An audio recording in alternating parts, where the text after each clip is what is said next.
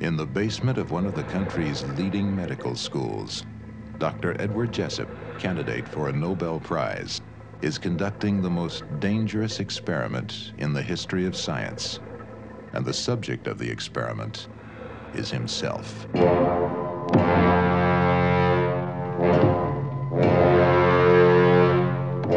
Ask him what kind of an experience I can expect.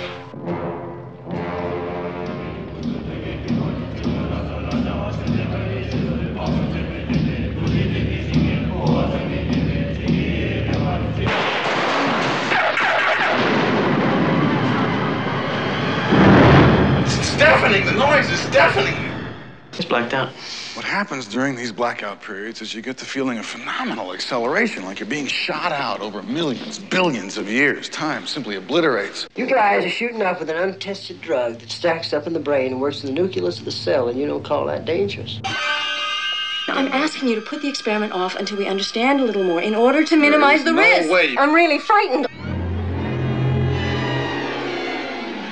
We could be screwing around with this whole genetic structure. Now, how do we stop this?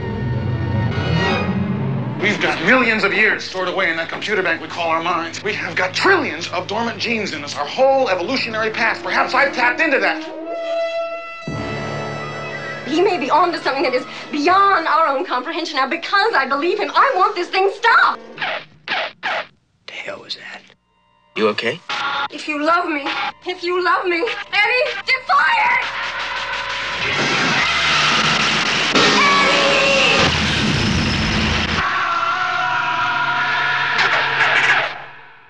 States.